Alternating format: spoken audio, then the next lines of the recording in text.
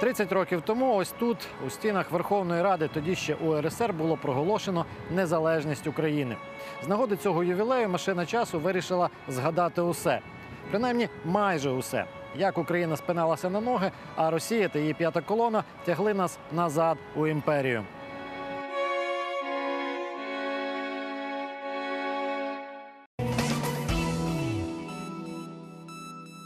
У січні 2003-го президент РФ Путін визнав українські кордони, включно з Кримом. Того року було підписано відповідний договір. Але ще не встигло на ньому висохнути чорнило, як Москва його одразу ж порушила. І того ж року почала проти України маленьку гібридну війну. Острів Тузла.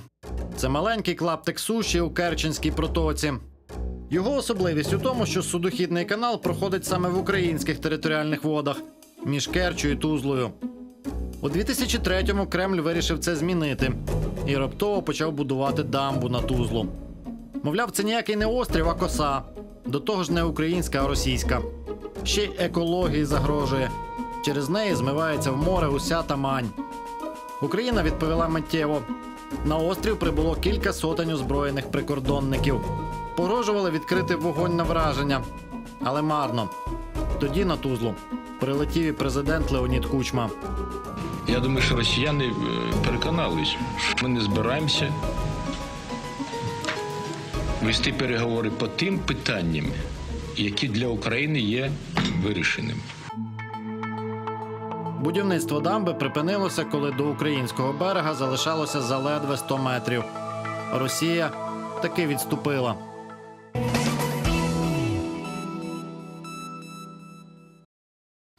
Що цікаво, у 2003 році Україна задекларувала своє бажання вступити до НАТО. І у тому ж 2003-му Леонід Кучма підписав угоду про створення єдиного економічного простору з Росією, Білоруссю та Казахстаном. Багатовекторність, як відрижка касетного скандалу. Рік 2003, серпень. У київське представництво організації Репортери без кордонів надходить лист з приміткою відкритий після моєї смерті. У документі на кільканадцять сторінок зізнання екс-міліціонера Ігоря Гончарова, обвинуваченого у створенні організованого злочинного угрупування так званої банди перевертнів. Гончаров заявляє, що знає, хто убив Георгія Гонгадзе, а також що до цього злочину причетне керівництво МВС і держави. Якщо йому вірити, з 97 по 2002 роки міліціонери з УБОЗу та спецпідрозділу МВС Сокіл співпрацювали з київським бандитським групуванням і разом убили щонайменше 11 осіб. 1 серпня 2003-го Гончаров помер в СІЗО, а вже за два дні його тіло кремували. Через рік прокуратура встановила, що Гончарова убили. У жовтні 2003-го генпрокуратура затримала у справі Гонгадзе керівника управління кримінального розшуку МВС Олексія Пукача. Через чотири дні Леонід Кучма з порушенням законодавства своїм указом звільнив з посади генпрокурора Святослава Піскуна. У листопаді апеляційний суд без зайвої уваги з боку преси задовольнив клопотання адвокатів, серед яких Ігор Фомін, і змінив Пукачу запобіжний захід. Відповідно до статті 148 КПК України запобіжний захід застосовується за наявності достатніх підстав вважати, що підозрюваний буде намагатися ухилитися від слідства і суду або від виконання процесуальних рішень. Ось на цих кадрах убивця Георгія Гонгадзе спокійно залишає залу суду, щоб на довгі шість років зникнути з поля зору правоохоронних органів. Новий прокурор Геннадій Васильєв повністю змінює склад слідчої групи і заявляє, що розслідування вбивства журналіста потрібно розпочати з нуля. Незадовго до щойно описаних подій сталося ще дещо. У 2003-му, майже одночасно, з однаковим діагнозом інсульт до лікарень потрапили два міліцейські генерали сірі кардинали епохи кучми Едуард Фере та Юрій Дагаєв. Невдовзі обидвоє померли. Їхня смерть та можлива причетність до справи Гонгадзе так і не були розслідувані.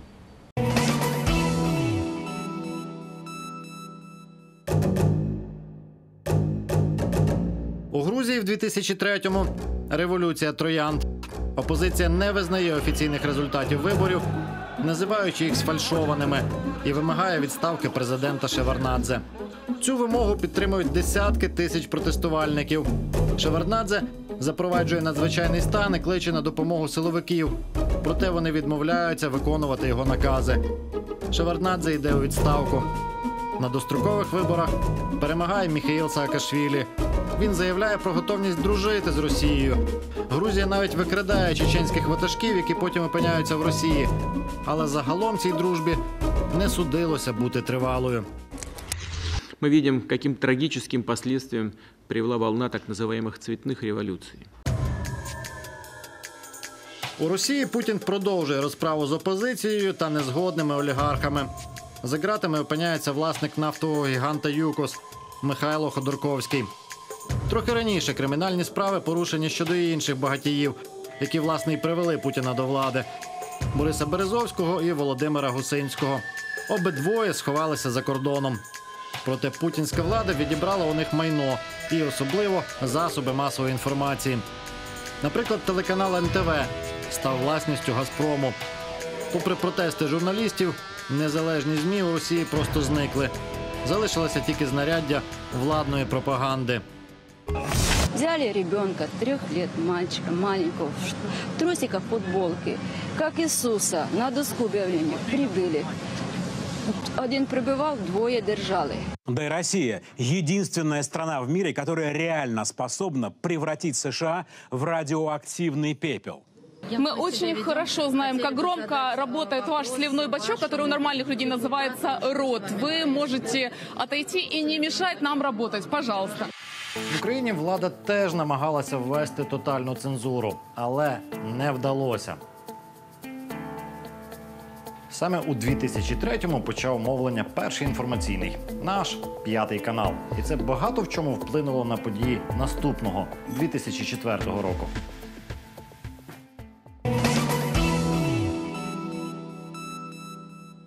2004 – рік президентських виборів в Україні. Цього разу справді поворотних в історії. Віктор Ющенко прозахідний кандидат, його опонент Віктор Янукович відверто проросійський. Кремль навіть не приховував на кого робив ставку.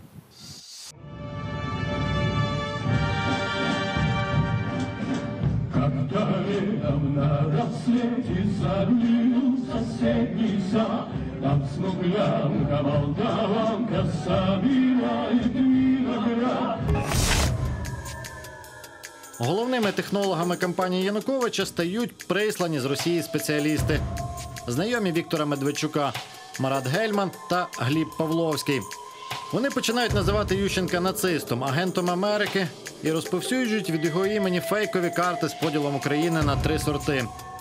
Мета цього консолідувати виборців Сходу довкола, начебто, свого кандидата російськомовного Віктора Януковича.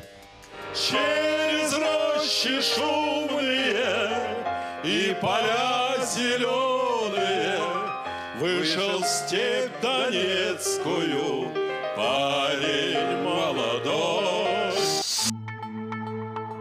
Утім, головна проблема чинного прем'єр-міністра у тому, що він як слід не знає ні української, ні російської.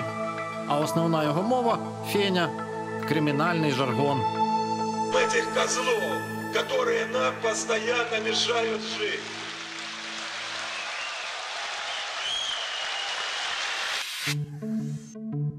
У своїй офіційній автобіографії Янукович величає себе професором з помилкою через 2 F, допускає ще кілька граматичних помилок.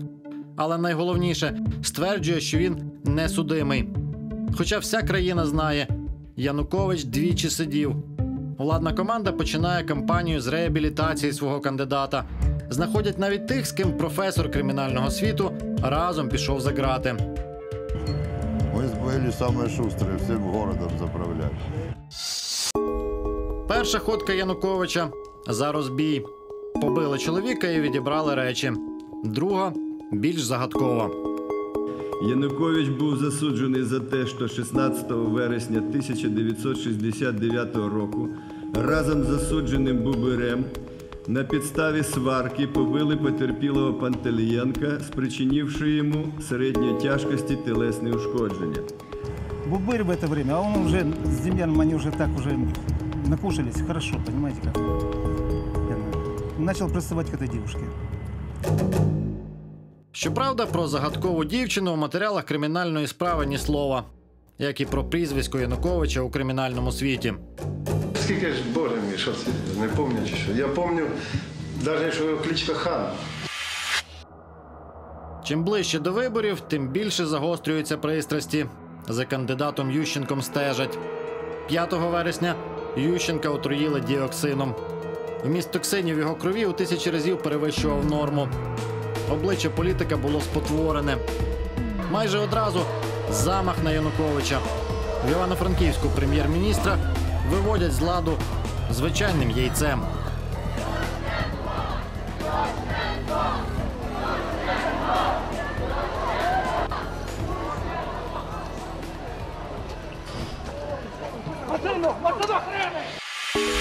Під час обидвох турів голосування спостерігачі фіксують численні фальсифікації.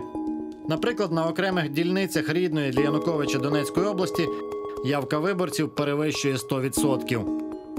Екзитполи демонструють перемогу Віктора Ющенка. Однак Центральна виборча комісія оголошує переможцем Януковича.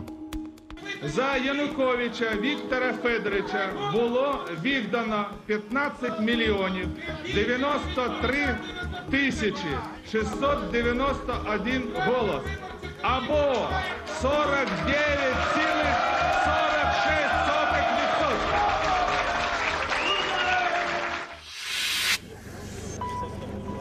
Уже наступного після голосування дня на Майдані Незалежності збираються десятки тисяч українців.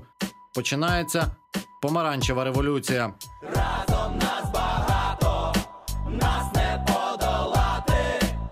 Майдан Незалежності та Хрещатик стають осердям революції.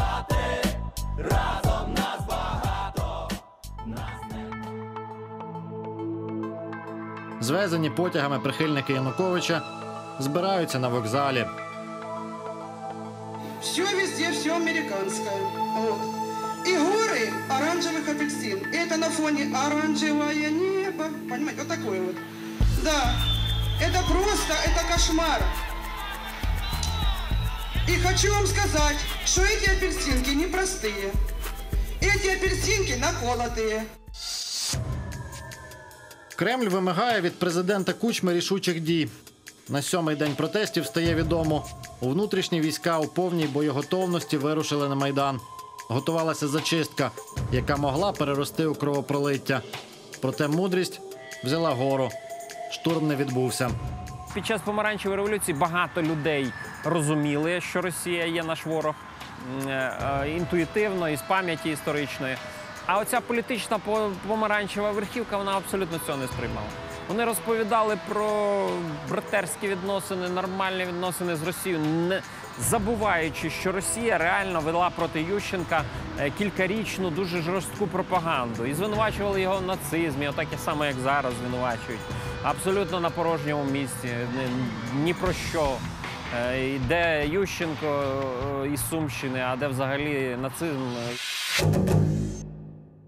Врешті, за допомогою міжнародних посередників досягнуто компромісу. Верховний суд визнає голосування сфальшованим, призначається додаткове, так званий третій тур виборів з посиленим контролем. Натомість представники опозиції та влади разом голосують за зміни до конституції. У президента забирають більшість повноважень, і Україна стає парламентсько-президентською державою. 26 грудня на повторному голосуванні прогнозовано перемагає Віктор Ющенко. Новий 2005 рік сотні тисяч українців зустрічають на Майдані в очікуванні змін.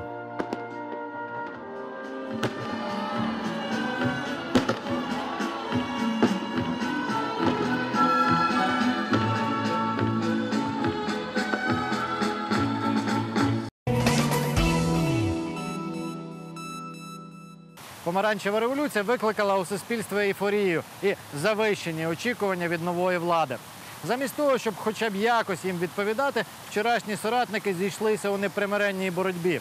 Але принаймні частково часи таки змінилися. 23 січня 2005-го. Інавгураційна промова Віктора Ющенка. Обіцянка розслідувати справу Гонгадзе. І трохи більше як за місяць, на початку березня, перший результат.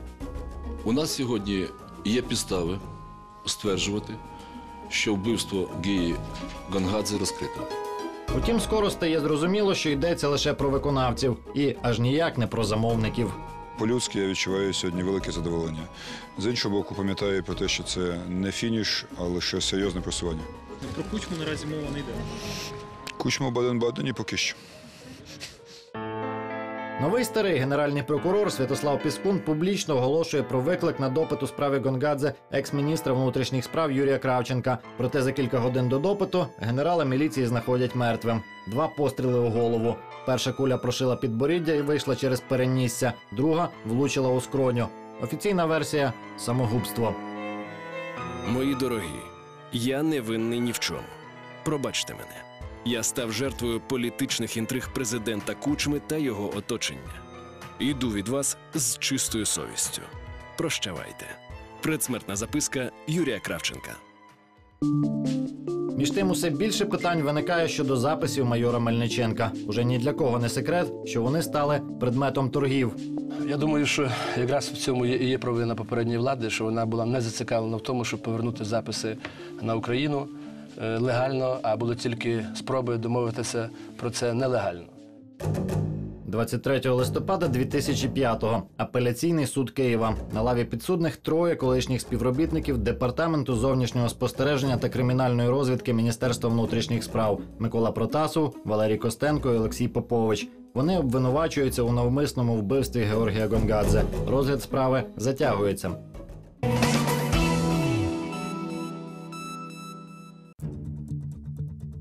На початку 2005-го помаранчева команда розподіляє посади.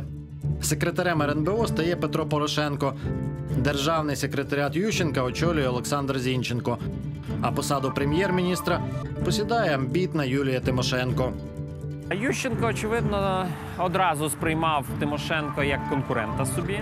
Конкурента здатного до переговорів, до дуже таких гнучких переговорів, в тому числі з ворогами, з політичними опонентами, з Росією, з Заходом, з ким завгодно. Вона була така більш динамічна, ніж він. І крім того, вона почала на себе перебирати значну частину суспільної уваги. Ну і корупція. Він Ющенко, як бухгалтер, не міг не бачити, як відбувалися там всі ці потоки, як Тимошенко їх переспрямовувала на себе. 5 вересня 2005-го. Держсекретар Зінченко скликає прес-конференцію, на якій звинувачує оточення Ющенка в корупції. Але мені було надзвичайно приємно, що за весь час свого виступу, коли він читав е, написаний текст, і потім, коли він відповідав, він жодного разу не спромігся подивитися мені в очі. Ті своєю чергою звинувачують прем'єр-міністра Юлії Тимошенко. Ющенко звільняє усіх. Помаранчева команда розпадається. І все це разом викликало історію 8 вересня е, 2005 року, коли він фактично відправив у відставку і тодішнього секретаря РНБО Порошенка і Тимошенка. Е, У них був там конфлікт між собою, і він, щоб вийти з цього, з цього конфлікту, замість того, щоб на якийсь певний час відсторонити їх, він уже сказав: та хай вже всіх розжену. Чвари всередині помаранчевої команди фактично повернули з політичного небуття Віктора Януковича і дозволили Росії знову втручатися в українську політику. Детальніше про це у наступному випуску спецпроекту «30 років незалежності. Незнання історії не звільняє від відповідальності.